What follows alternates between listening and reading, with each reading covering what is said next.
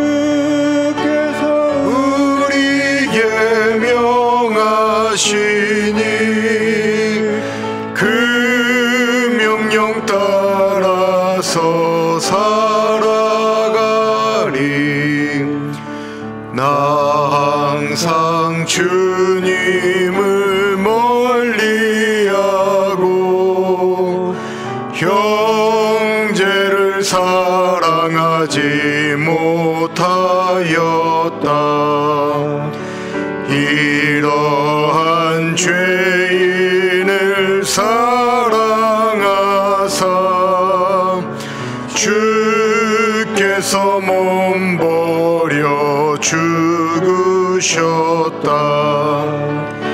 속죄의 큰 사랑 받으니 모 생명을 다 바쳐 충성하리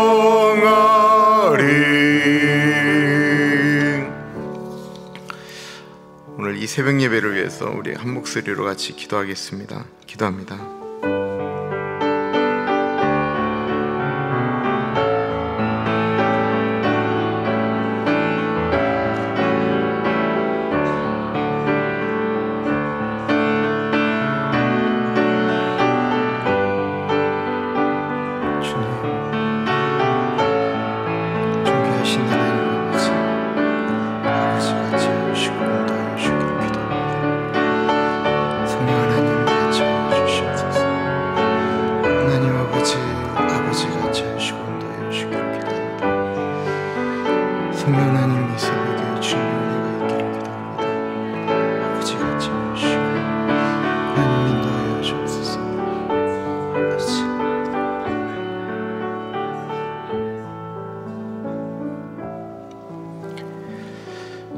존귀하신 하나님 아버지 이 토요일 새벽에 주님의 존전에 나온 주님의 백성들 가운데 같이 하여 주시고 온라인으로 예배를 드리는 사랑하는 하나님의 백성들 가운데 같이 하여 주시며 하나님 우리가 예배를 드릴 때 동일하게 역사하시는 하나님을 경험하기를 간절히 기도드립니다. 성령 하나님 이 시간에 운행하시며 말씀하여 주시고 목사부터 교육자들, 우리 사랑하는 교우 한 분 한 분 동일한 마음으로 주님의 말씀 앞에 은혜 받기를 기도합니다. 성령 하나님께서 딱딱하고 완악한 마음을 부드럽고 연하게 하여 주셔서 하나님의 말씀이 무엇을 전달하려고 하는지 깨달아 알 수 있도록 인도하여 주옵소서. 존귀하신 예수님 이름으로 기도합니다. 아멘. 하나님의 말씀 마태복음 22장 34절에서부터 40절까지 보겠습니다. 마태복음 22장 34절에서부터 40절까지 말씀.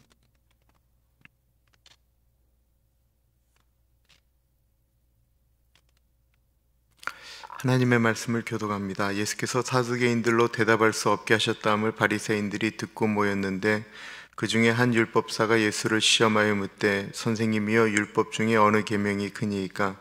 예수께서 가라사대 내 마음을 다하고 목숨을 다하고 뜻을 다하여 주 너의 하나님을 사랑하라 하셨으니 이것이 크고 첫째 되는 계명이요. 둘째는 그와 같으니 내 이웃을 내 몸과 같이 사랑하라 하셨으니 이 두 계명이 온 율법과 선지자의 강령이니라. 아, 사람에게는 누구나 꿈이 있습니다. 보편적인 꿈은 모든 분들이 다 꾸는 꿈 같아요. 잘 살고 싶다라는 것입니다. 잘 사는 것이 여러 종류가 있죠. 건강하게 사는 것도 잘 사는 것이고요. 돈이 많은 것도 잘 사는 것이고, 무엇인가를 쓸 때 고민하지 않고 쓸 정도면 잘 사는 것이다라고 이야기할 수도 있고, 가족이 화목하면 그것도 잘 사는 것이라고 이야기할 수 있습니다. 제 어릴 때 늘 새벽에 울렸던 대한민국의 대표적인 노래가 있었는데 그것이 가슴을 이렇게 때리는 시골에도 도시에도 늘 울려 퍼졌던 노래입니다. 그것은 무엇이냐면 잘 살아보세라고 하는 노래였습니다. 잘 살아보세. 그럼 여러분들은 잘 살아보세 이렇게 해주셔야 돼요. 한번 해볼게요. 잘 살아보세. 잘 살아보세. 우리도 한번 잘 살아보세. 그리고는 대한민국이 정말 잘 살게 되었어요. 우리 교회 어른이 한국을 가셔서 뭐라고 그러셨냐면, 목사님, 미국 겨, 거지가 한국에 온 느낌이에요. 라고 말씀하셨어요. 왜 그러냐면, 미국에서는 이렇게 뭘 먹을 때 얼마 들어가는지 이거 다 계산하면서 이렇게 움직일 때가 참 많잖아요. 한국 분들은 잘 안 그런다라는 거예요. 그렇게 많이 바뀌었어요. 그런데 놀랍게도 1970년대, 80년대, 60년대는 한국의 자살률이라고 하는 것이 정말 전 세계에서 자살률 가장 밑바닥 중에 하나였습니다. 근데 정말 잘 살게 됐는데 OECD 국가 중에 부동의 1등이 대한민국입니다. 자살률 넘버원. 그러면 뭐가 잘 살게 되었다라고 하는 것을 이야기하는 것일까요? 왜 꿈이었던 잘 살게 되었는데 자살을 하게 되는 것일까요? 목사의 꿈, 교회의 꿈은 교회가 부흥하는 것입니다. 좋은 환경 가운데 우리 아이들을 가르치고 또 좋은 설교를 듣고 좋은 음악적인 시설 가운데 모든 것들이 이게 잘 갖춰진 교회를 만드는 것 그게 꿈일 거고요. 그런 교회에서 목회를 하면 참 행복할 거다라고 목회자들은 생각을 합니다. 실제로 그렇게 생각할 수 있습니다. 그런데 목회자들을 대상으로 설문조사를 해보면 그렇지 않다라는 거예요. 그 목회자의 적이라고 하는 책을 쓴 김청준 목사님이라고 하는 분이 쓴 책에 이런 내용이 나와요. 자기하고 동기 목사인데 동기 목사님이 옥하는 목사님이에요. 옥하는 목사님이랑 이렇게 얘기를 하는데 옥하는 목사님은 다 이렇게 지쳐 있더라는 거예요. 늘 지쳐 있고 늘 힘들어 있고 또 다른 동기 한 사람을 만났는데 늘 힘들다라는 거예요. 본인이 생각할 땐 저렇게 큰 교회를 하면 행복할 것 같은데 행복하지 않더라는 것입니다.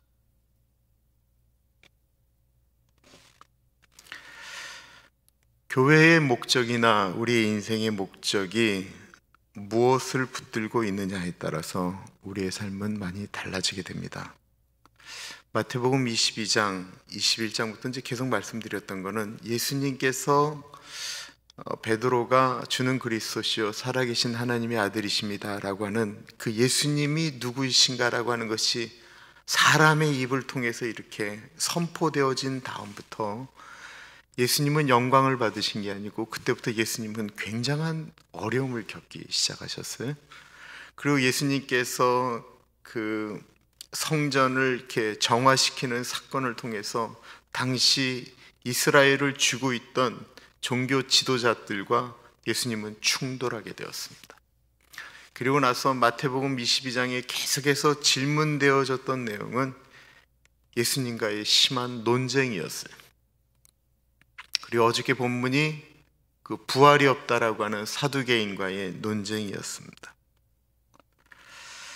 계속해서 이제 패배하니까 이번에 한 율법사가 와서 이야기하는 거예요.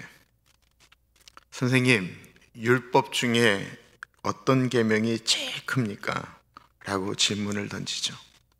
그러자 예수님께서 그 유명한 첫째 되는 것은 하나님을 사랑하는 것이고 두 번째는 이웃을 사랑하라고 하는 그 유명한 말씀을 하시게 됩니다. 사람과 짐승이 다른 것이 하나가 있다고 한다면 사람은 하나님을 사랑하는 마음이 있다라는 거예요. 짐승은 음악을 사랑하지 않습니다. 그러나 사람은 음악을 사랑합니다. 음악을 사랑하는 것은 사람밖에 없습니다. 사람은 자연을 사랑합니다. 짐승들은 자신들이 있는 것을 좋아할지는 모르겠지만 사람들이 찾아가서 감탄하는 것처럼 사랑하지 않습니다. 사람은 불쌍한 사람을 보면 불쌍하게 여겨지는데 짐승은 불쌍한 사람을 보면 잡아먹으려고 합니다. 하나님은 사람에게 영혼을 사랑하는 마음을 주셨습니다. 그래서 사람에게 사랑이라고 하는 것은 대단히 중요한 것입니다. 사람의 행복이 어디서 오느냐, 잘 사는 것에서 오느냐, 사랑에서 오는 거냐라고 이야기하면 사랑에서 오는 것입니다. 저희 교 어른들 다 미국에 오실 때 한국이 그때 너무 어려웠으니까 미국에 가서 잘 살아보겠다라는 것입니다. 그리고 자녀들에게는 이런 아픔을 주지 않겠다라고 하는 열망 때문에 오셨죠. 그런데도 힘든 줄 모르고 일하셨던 이유는 가족들을 사랑했기 때문입니다. 그것이 아닌 그냥 무조건 잘 살겠다라고 하는 이유만으로 미국에 왔다고 하면 미국이라는 나라는 결코 행복한 나라가 아닙니다. 한국 사람들이 영어도 못하죠. 피부도 다르죠. 그 옛날에 와서 뭐를 가지고 행복을 경험할 수가 있겠습니까? 사람이 살아가는 동안 행복과 불행의 대부분은 이 사랑 때문에 결정되어집니다. 세상이 아무리 힘들어도 사랑하는 사람과 진정한 사랑의 관계에 있을 때 그 사람은 행복합니다. 세상이 아무리 형통하여 넉넉하여도 사람과의 마땅히 사랑해야 될 사람과의 사랑이 금이가 있으면 그 사람 불행합니다.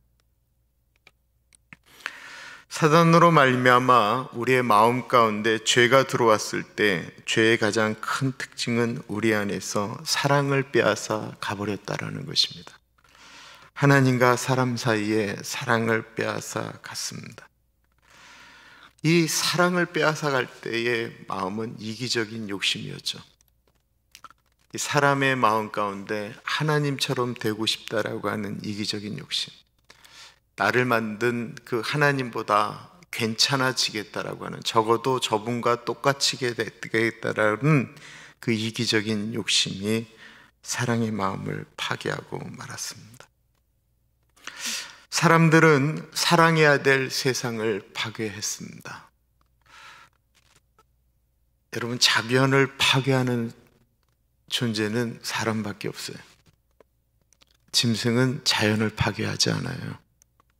사람만 자연을 파괴해요. 왜 파괴해요? 자기의 이익을 위해서 파괴하는 거예요. 아마존에 그 계속해서 불이 나고 있어요. 지난번에도 말씀드렸지만 아마존에 불이 나는 이유는 번개가 쳐서 불이 나는 게 아니에요. 나무가 쓰러지면서 마찰이 일어나서 불이 나는 게 아니에요. 중간에다가 사람이 몰래 가서 불을 내는 거예요. 그럼 굉장히 큰 공간이 만들어지잖아요. 그럼 거기다가 소를 키워요. 거기서 짐승을 키워요. 그렇게 없어지는 것이 하루에도 수백 개예요.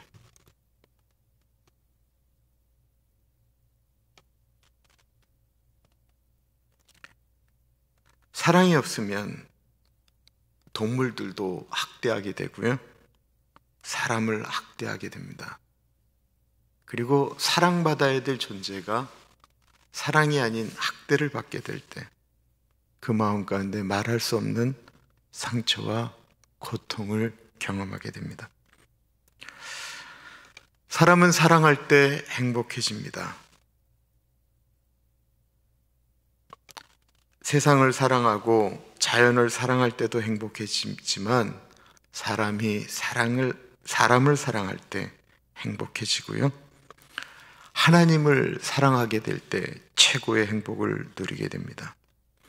1974년도 여의도 광장에서 엑스폴로 74라고 하는 대회가 있었습니다. 그 유명한 빌리그리안 목사님이 주강세로 오셨던 대회였고요.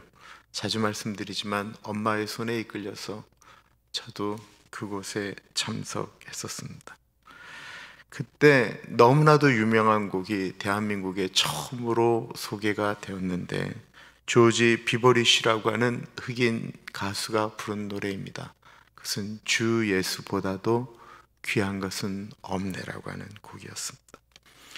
이 조지 비버리쉬는 굉장히 가난하게 태어나서 가난하게 자란 분이었어요.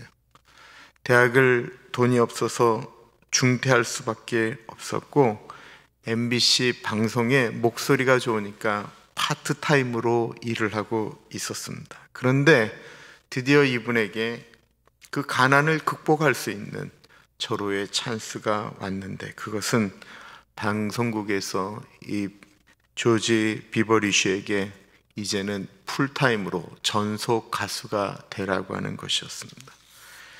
뛸 듯이 기뻐서 계약서를 들고 집으로 달려갔습니다. 어머니, 드디어 우리 집에 살 길이 생겼습니다.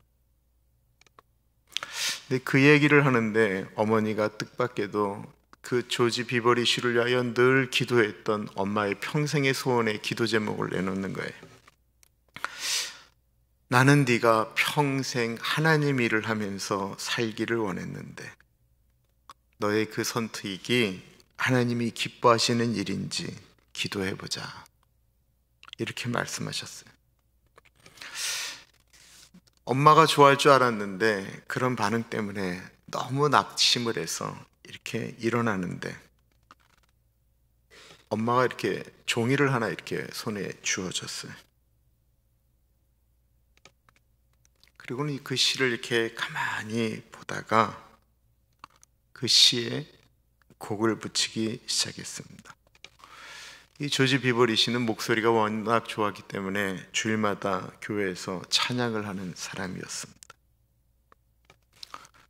엄마가 주신 곡에다가 시에다가 곡을 붙이며 피아노를 치기 시작했습니다. 그가 불렀던 만들었던 곡이 그 유명한 주 예수보다 귀한 것은 없네라고 하는 찬양입니다. 세월이 흘렀습니다. 하나님께서 그분을 어떻게 사용하셨을까요? 어느 날 그분의 노래를 들은 빌리그리안 목사님이 그와 함께 순례자의 삶을 살자라고 의탁을 한 것입니다. 부탁을 한 거예요. 그리고 이분이 빌리 그레이엄 목사님이 다니던 집회에 늘 동행하게 됐어요. 뭐 살아계신 분이니까 이렇게 얘기하지만 그분도 이것 때문에 기분 나빠하지는 않으실 것 같아요. 엑스플로 74에 이 조지 비버리 쉐 목사님처럼 빌리 그레이엄 전도단에 픽업된 한국 사람이 한 분 계셨어요. 그분도 이 노래를 한국말로 번역된 것을 불렀어요. 근데 얼마나 감동적으로 불렀는지 빌리그레암 목사님이 그 사람에게도 나와 같이 움직이자라고 부탁을 했어요. 그 사람이 조모 씨 아들 모영남이라는 사람이에요. 조모 씨 아들 모영남. 이 양반이 엑스플로 74의 노래를 불러서 한마디로 떴어요. 그리고는 그 빌리그램 전도단에서 픽업돼서 미국에 와서 공부를 하게 돼요. 시카고에 있는 트린티 대학에서. 그리고 목사 안수를 받았어요. 이분이 그 길로 가지 않고 우리가 아는 것처럼 완전히 딴 데로 가버렸죠. 이분의 나오는 얘기들 보면 뭐 좋아하는 것들이 너무 많아요. 이분은 주 예수보다 귀한 것이 너무나도 많았기 때문에 그 길로 갈 수가 없었어요. 그의 부인은 얼마 전에 미국에서 큰 상을 받았고 그분은 감옥에 갔다 오고 그런데 어느 날 이렇게 인터뷰 마지막 편에 이제는 뭐 돌아가야 되지 않을까? 라는 이야기를 하는 것을 보았습니다. 이 조지 비버리 씨가 시카고에서는 매년 2년마다 선교 대회를 했는데요. 지금은 돌아가셨죠. 10여 년 전에 90이 넘은 나이로 그 선교 대회에 서게 됐습니다. 이분이 쓰자 뭐 사람들의 박수 소리가 끊이지를 않았죠. 그때 이분의 메시지입니다. 여러분은 복음을 위하여 여러분의 조국을 포기하신 분들입니다. 여러분들은 이 복음을 위하여 여러분의 미래를 포기하신 분들입니다. 여러분들은 하나님의 나라를 위해 여러분의 자녀와 일신의 안녕과 미래를 포기하고 아낌없이 내어드린 분들입니다. 여러분은 여러분들의 가진 가장 귀한 것을 복음을 위해 드린 분들입니다. 그러나 하늘 보좌를 버리고 하나님이신 그분이 이 땅에 오셔서 십자가를 지신 그 놀라운 사랑을 생각하면 우리가 그분에게 드린 것은 아무것도 아닙니다. 주 예수보다 더 귀한 것은 없습니다. 이 조지 비버리 쉐아가 그렇게 예수님에게 미쳤기 때문에 그런 결단을 한 것입니다. 우리 어른들 별로 좋아하지 않는 말씀이지만 저는 길게 아주 길게 목회하고 싶다라고 하는 생각을 해본 적이 없습니다. 장기 목회를 해야 되니까 건강해야 된다라고 말씀하셔도 저는 사실 그것이 잘안 되는 사람입니다. 저에게는 그냥 오늘이 중요합니다. 근데 그 오늘도 이렇게 밤에 하루가 지난 다음에 이렇게 생각을 해보면 참 후회될 때가 너무 많아요. 내가 오늘이라고 얘기하는 것은 오늘 정말 후회 없이 예수님 사랑하다가 오늘 하루를 보냈으면 좋겠다 싶은데 그게 잘 안 돼요. 제가 우리 강명관 선교사하고 이렇게 대화를 하는데 정말 우리 신학교 갔을 때처럼 그냥 예수에 미쳐서 살다가 죽었으면 참 좋겠다 싶은데 이게 나이가 들어가면 나이가 들어갈수록 이 가슴에 이게 그런 게 줄어든다라는 생각이 이게 들어요. 청년들하고 이야기하면서 울면서 밤을 새워도 그렇게 행복했던 날들이 나한테 또 올까라는 생각이 들기도 해요. 저는 그냥 찬양하는 분들이 앞에서 찬양을 하는데 우리 교회는 뭐 찬양이 좋다라는 이야기 많이 듣잖아요. 근데 찬양이 좋은데 예수에 미쳐서 하는 찬양은 좀 더 다른 것 같아요. 난 예수에 미쳐서 찬양을 했으면 좋겠어요. 저희, 저희 교회 어른들이 커피 브레이크도 하고 또한 어성경이 읽어지네도 하고 그러는데 힘들어요. 특별히 양이 너무 많아서 어성경이 내는 막 참 힘들어더라고요. 성경 공부를 하는데 이게 하나님의 말씀이니까 그거 하는 동안 좀 미쳤으면 좋겠어요.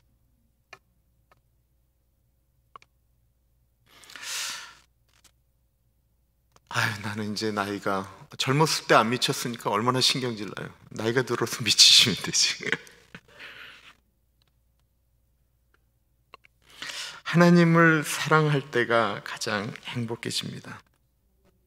근데 사랑이라고 하는 것은요, 추상적인 것이 아니고 구체적인 거예요. 사랑은 언제나 오래 참고, 사랑은 온유하며, 사랑은 시기하지 않으며, 사랑이라고 하는 것에 대해서 고린도전서 13장에 말씀할 때 사랑이라고 하는 것이 추상적인 게 하나도 없어요. 사랑이라고 하는 것은 구체적이다라는 것입니다. 하나님은 사람을 사랑한다라고 이야기하며 하늘에서 그냥 사랑한다라고만 이야기하지 않았어요. 창세기 1장부터 2장까지 이 세상을 창조하시던 하나님은 사람이 살아갈 수 있는 완벽한 것들을 다 준비하시고 나서 사람을 창조하셨어요.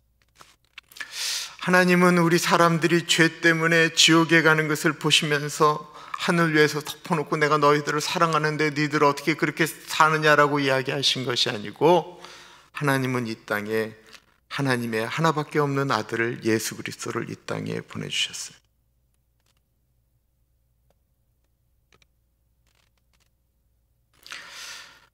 예수님께서 한 율법사가 어떤 계명이 제일 큽니까? 라고 할 때 하나님을 사랑하는 것 그리고 이웃을 사랑하는 것을 동일하게 말씀하셨습니다.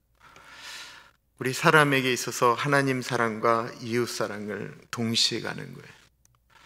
하나님을 사랑한다라고 하는데 사람에게 사랑이 없는 사람처럼 은혜가 없는 사람이 없어요.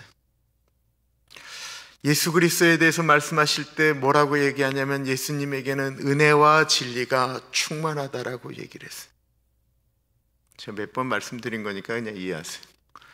제가 서정원 총장님이 제 아는 목사님 교회 그 창립 예배를 갔어요. 그 굉장히 유명한 교회예요.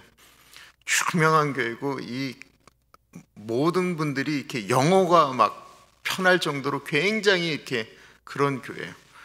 근데 이제 장로님이 딱 올라가셔서 기도를 하셨어요. 대표 기도를. 한국말로 쫙 하고는 그 다음에 이제 영어로 쫙 하고 한국말로 쫙 하고 영어로 쫙 하고 그렇게 이제 아주 굉장히 멋있는 예배를 다 드렸는데 서준님이 내려오시면서 하는 말씀이 야, 저 교회는 진리는 충만한데 은혜는 하나도 없다 그러시는 거예요. 이 은혜는 하나님을 사랑하는 것과 사람을 사랑하는 것이 같이 흘러가요. 은혜와 진리가 같이 흘러가는 것입니다. 저희가 그 레이디 레이에스 교회하고 같이 예배를 드려요. 처음에는 지금과 같은 관계가 아니었어요. 얼마나 갈등이 심했는지 몰라요. 왜 저 사람들이 그 세 들어 사는 사람들인데 왜 자기들이 주인처럼 행동하느냐? 이게 제가 매주 지날 때마다 매번 들어야 되는 이야기였어요. 근데 그분들은 또 나름대로 큰 돈 내면서 렌트라니까 왜 약속 시간에 니들이 안 나가느냐라는 거예요. 근데 그때만 해도 저희 교회가 이제 합친 다음에 얼마 안 돼서 청년들이 늘 교회에 남아 있는 게 늘 익숙했기 때문에 이게 늘 갈등 요소였어요. 근데 그분들이 멕시코 분들이잖아요. 남미 분들이잖아요. 그 와중에도 저희는 어쨌든 멕시코로 단기 선교를 갔었거든요. 그 단기 선교를 가면 처음 보는 사람들한테 우리 한국 분들은 완전히 천사가 되는 거예요. 냄새나고 머리가 떡지덕지 붙어 있고 뭐 해도 막 웃으면서 머리 감겨주고 머리 잘라주고 선물 갖다 주고 같이 사진 찍고 끌어안고 뭐 뽀뽀하고 다 하는데 정작 우리와 같이 있는 그들과 똑같은 사람들을 사랑하기가 너무 어렵다라는 것입니다.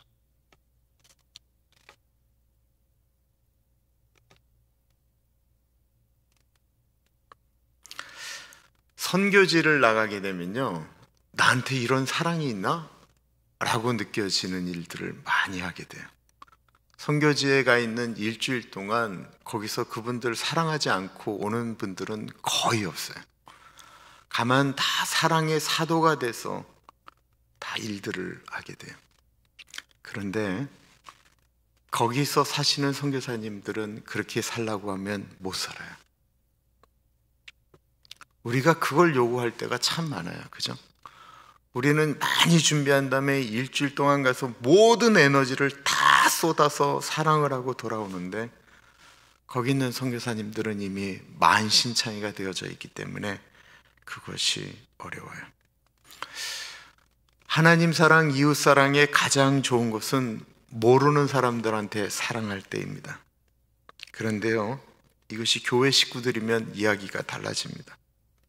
죽어도 사랑할 수 없습니다. 어떤 분은 눈에 흙이 들어와도 사랑할 수가 없습니다.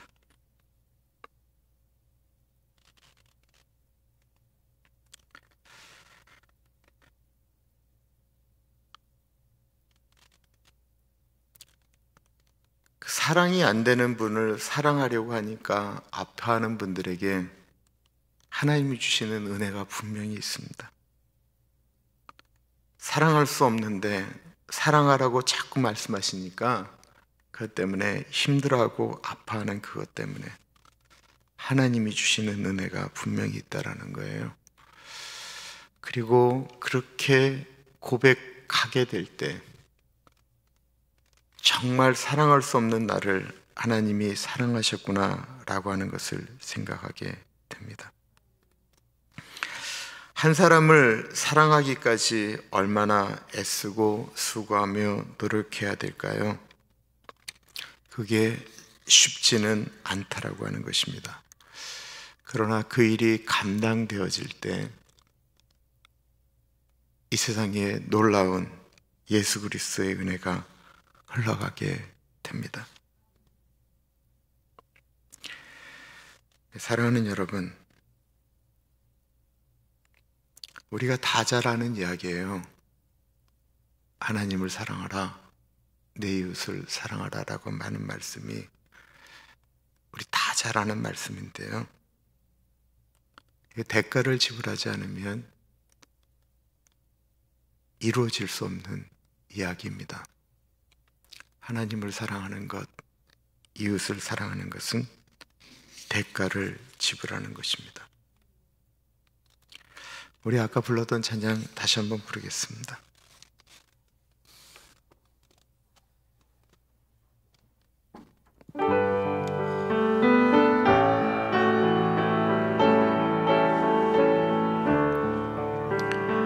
내 마음과 정성을 다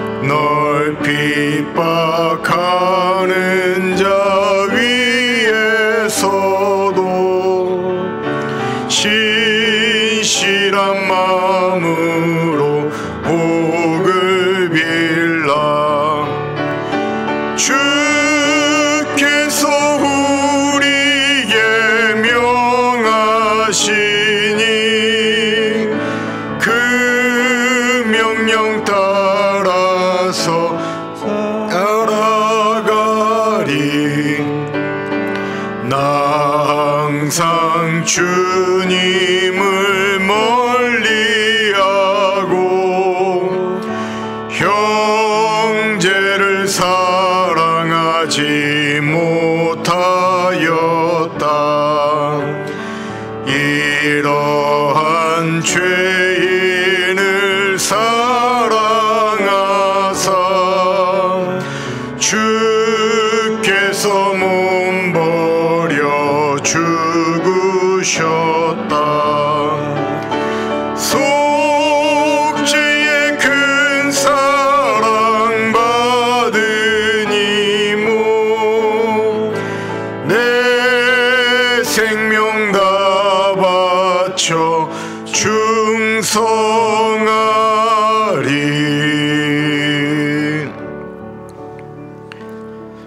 3절을 보면 나 항상 주님을 멀리하고 형제를 사랑하지 못하였다.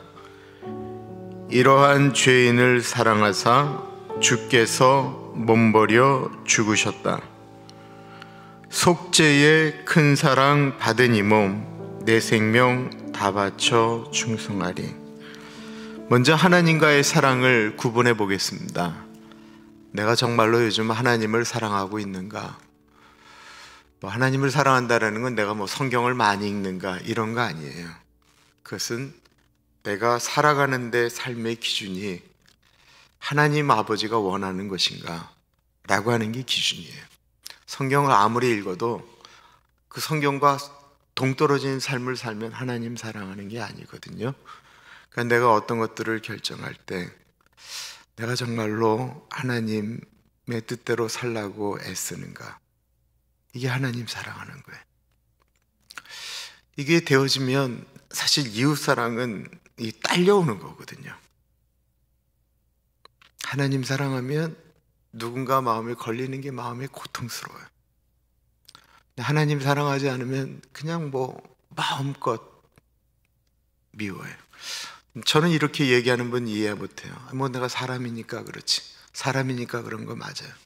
하나님 사랑한다라고 그러면 이렇게 하면 안 돼요. 하나님 사랑하게 되면 그게 늘 마음에 걸려요.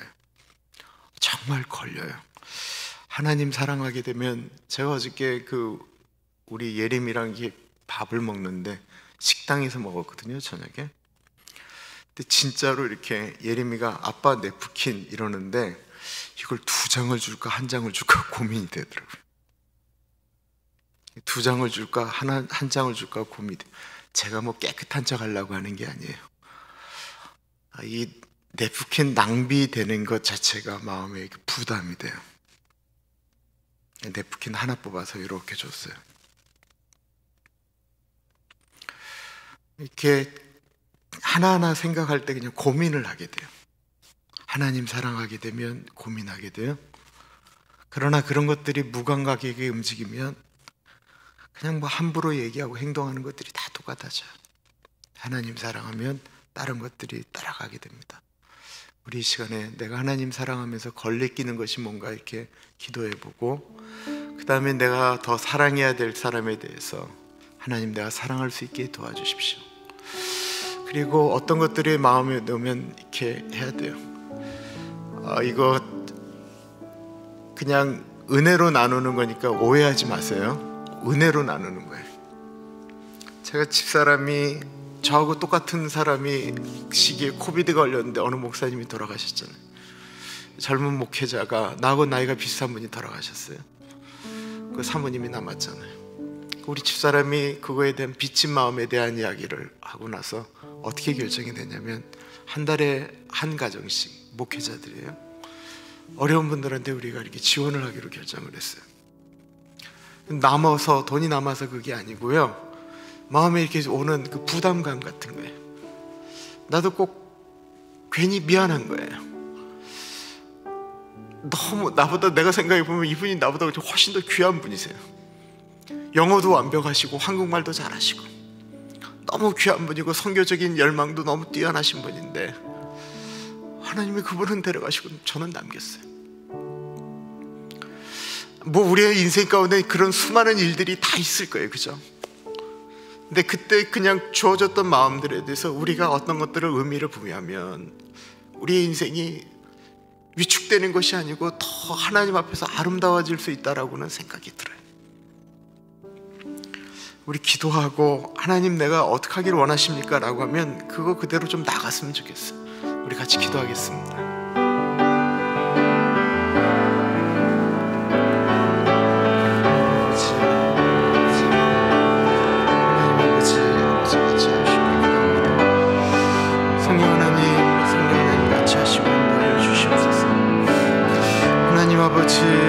아버지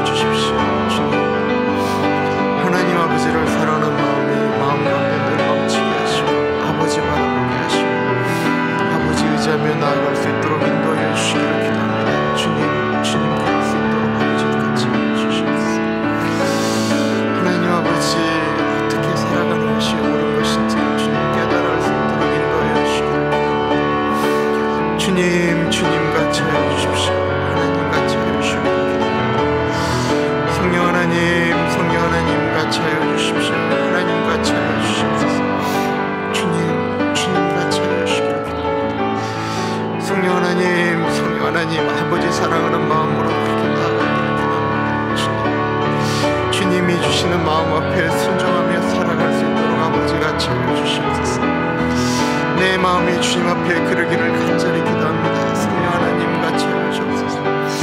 아버지 아버지 그럴 수 있도록 주님 인도하여 주시기를 기도합니다. 주님 아버지 사랑하면 그것이 아버지 흘러갈 수 있도록 아버지 인도하여 주시옵소서. 아버지 그 마음이 흘러갈 수 있도록 인도하여 주시기를 기도합니다. 주님 주님 하나님 사랑 이웃 사랑이 같이 흘러갈 수 있도록 하나님 인도하여 주옵소서. 귀하신 주님 주님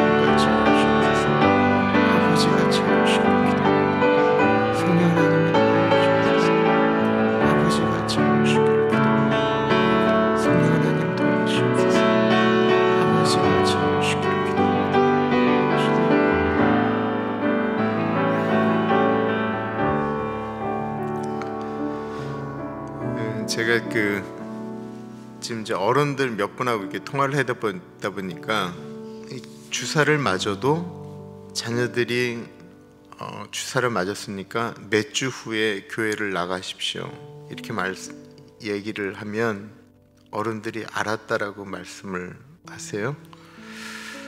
근데 이 코로나 사태 가운데 어떤 분은 내가 진짜 이 가정의 평화를 위하여 나를 내려놓겠다라고 생각하고 지내시는 분들이 계시고 내가 이럴 때는 내가 누군가에게 이런 일을 해야 되겠다라고 결심한 분들도 계세요. 이 코로나 때 이게 뭐 모든 것들이 다 스탑되었다라고 하는 것뿐만 아니라 많은 것들이 바뀌게 됐는데 오늘은 우리 이런 기도 좀 했으면 좋겠어요. 하나님, 이 코로나가 지금 이 잠잠해지기도 하고 이런 와중에 하나님 내가 뭐를 하기를 원하십니까? 이게 뭐 특별한 거를 하는 거를 이야기하는 게 아니에요. 그러나 분명히 나에게 하나님 주시는 메시지가 분명히 있는 것 같아요. 우리 교회도 주시는 메시지가 있고 개인에게도 주시는 메시지가 있어요. 이게 가정에 집중하라고 하면 가정에 집중해야 될 일이고 하여튼 주시는 메시지가 있어요. 하나님 내가 이때 뭐 하기를 원하십니까? 우리 그 기도 드린 다음에 하나님 내한테 이런 마음 주셨는데 내가 이걸 실천할 수 있는 마음을 주십시오. 우리 같이 기도하겠습니다. 하나님 아버지, 아버지 코로나 사태 때문에 하나님 아버지 여러 가지 일들이 발생하게 되었습니다. 주님 같이 하시고 인도하여 주시고 하나님 동행하여 주시기를 기도합니다. 성령 하나님 같이 하여 주시고 도와주옵소서. 하나님 아버지 아버지 같이 하시고 인도하여 주시기를 기도합니다. 주님 주님 같이 하여 주시고 인도하여 주십시오. 하나님 아버지 아버지 같이 하여 기도합니다. 성령 하나님 성령 하나님 같이 하시고 동행하여 주시기를 기도합니다. 하나님 이 코로나 사태 때 하나님 뭐 하기를 원하십니까? 주님 뭐 하기를 원하세요?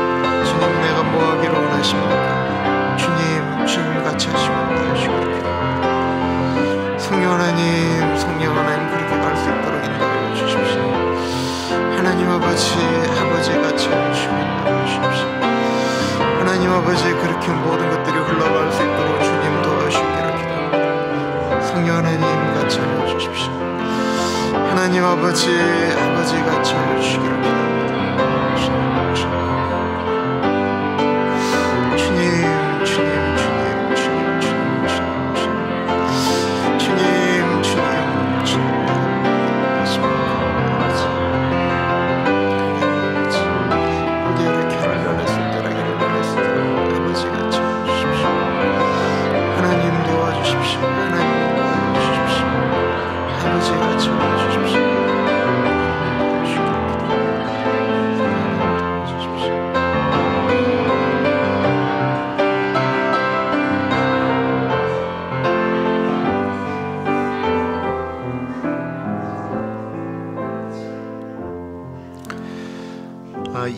이민자 권사님은 의식이 돌아왔고요. 임 권사님이 지금 음, 근데 이렇게 통화를 해보니까 스트로크 온 게 정확해요.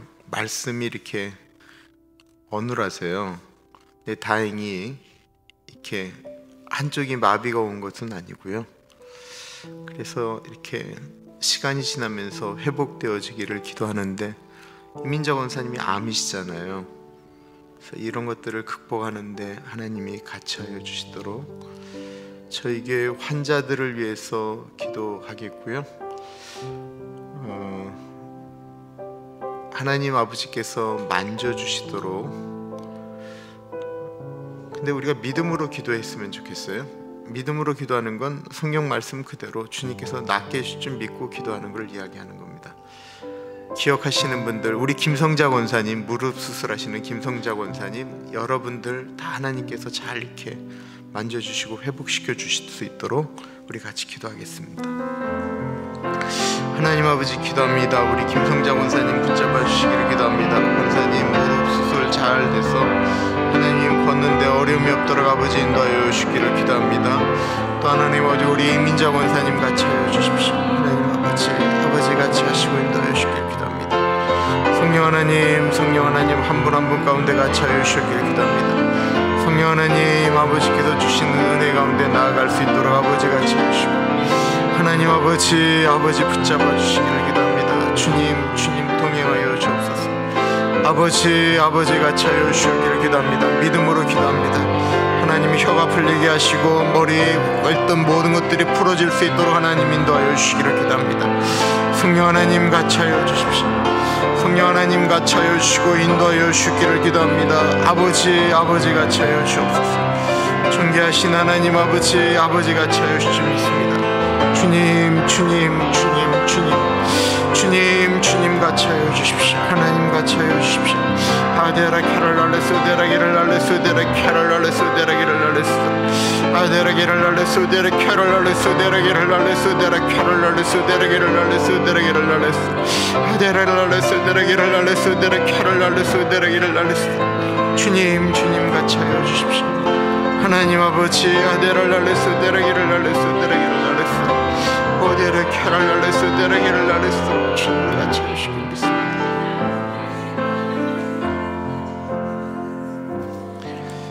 내일 예배를 위해서 기도하겠습니다.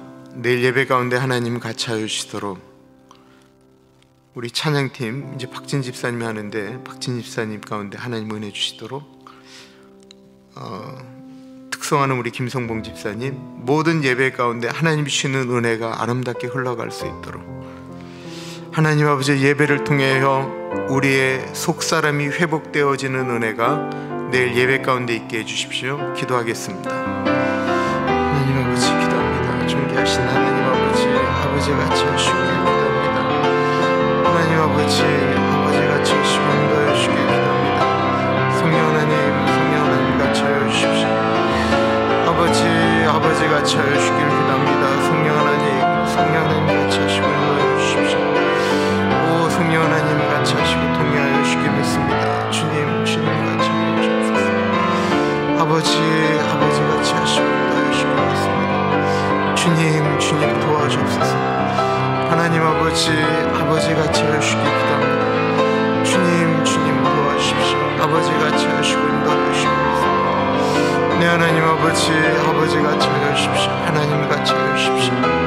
하나님 아버지 우리 박진 집사에게 은혜 주시기를 기도합니다. 김성봉 집사에게 은혜 주시기를 기도합니다. 예배의 모든 과정 가운데 주님이 주시는 은혜가 흘러갈 수 있도록 하나님 인도하여 주시기를 기도합니다. 성령 하나님 같이 하여 주십시오.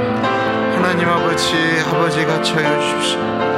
하나님 도와주십시오. 하나님 같이 하여 주십시오. 주님 도와주십시오. 하나님 인도하여 주옵소서. 네 하나님 아버지 아버지 같이 하여 주시기를 기도합니다. 주님 주님 주님 우리의 마음이 그렇게 흘러갈 수 있도록 하나님 인도하여 주십시오. 아버지 그렇게 흘러갈 수 있도록 인도하여 주시기를 기도합니다. 주님 주님 예배를 주님 예배 가운데 주의 성령 하나님 흘러가 주옵소서. 하나님 우리의 속 사람이 변화되어지는 예배가 되어질 수 있도록 아버지 같이 하여 주시기를 기도합니다.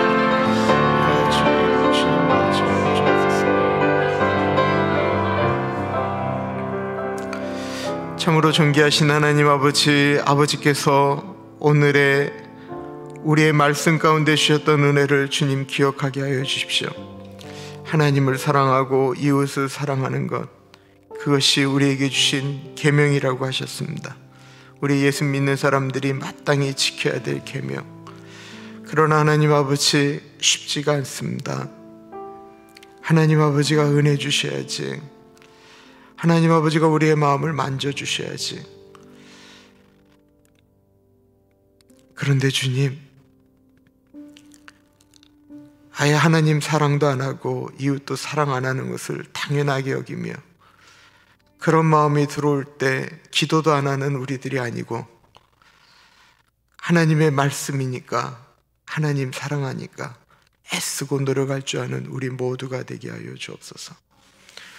지금은 우리 주 예수 그리스도의 은혜와 우리를 너무나도 사랑하셔서 하나밖에 없는 아들을 넉넉하게 보내주신 하나님 아버지 그 크신 사랑하심과 성령 하나님 감화 감동 역사 충만 교통하심이